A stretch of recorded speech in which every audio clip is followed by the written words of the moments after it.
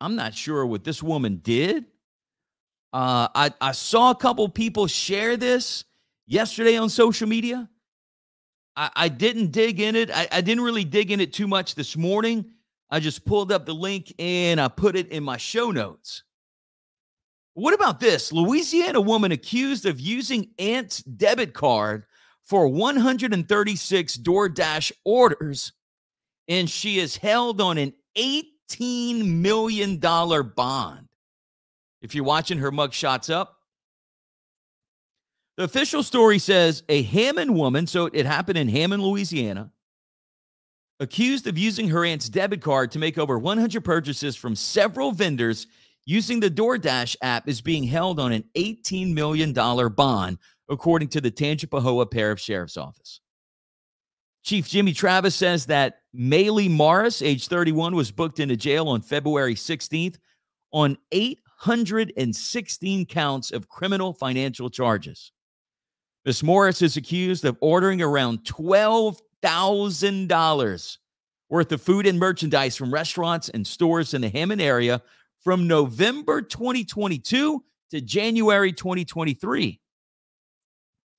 Investigators say that Morris made 136 purchases using her 73 year old aunt's debit card. That's a no no, which she had linked to her personal DoorDash account.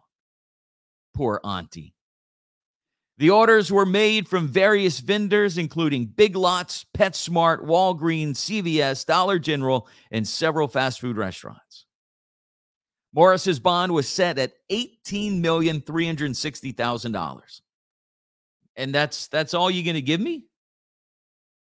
That's all you're going to give us? Fox 8 Live? I wanted to know why